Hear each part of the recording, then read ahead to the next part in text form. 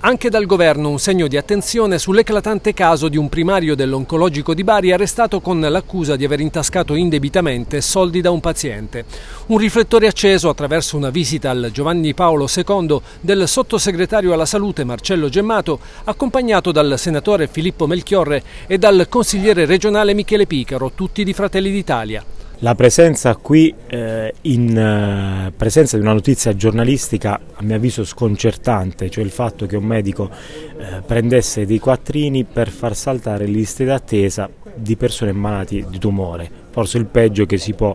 eh, pensare. Ora siamo in una società di diritto e esiste la presunzione di innocenza,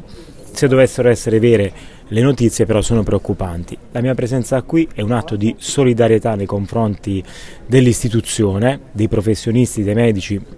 che eh, svolgono fino in fondo il loro dovere e lo fanno nell'interesse della comunità, ma proprio per questo non possono essere eh, equiparati o paragonati a, a, ad altri che non fanno il proprio dovere. Quindi la presenza qui è una presenza puntuale del governo per essere al fianco degli operatori sanitari, al fianco dei pazienti che invitiamo a denunciare puntualmente qualora dovessero esistere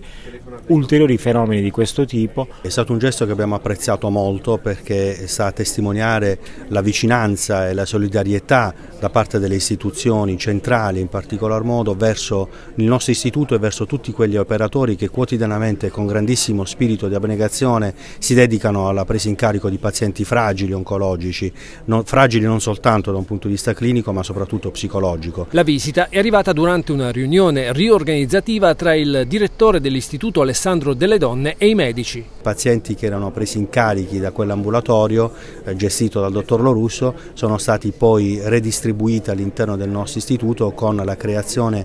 il coinvolgimento dei team multidisciplinari già presenti eh, nella nostra realtà ospedaliera e che garantiranno la piena presa in carico la, la continuità assistenziale già erogata in passato.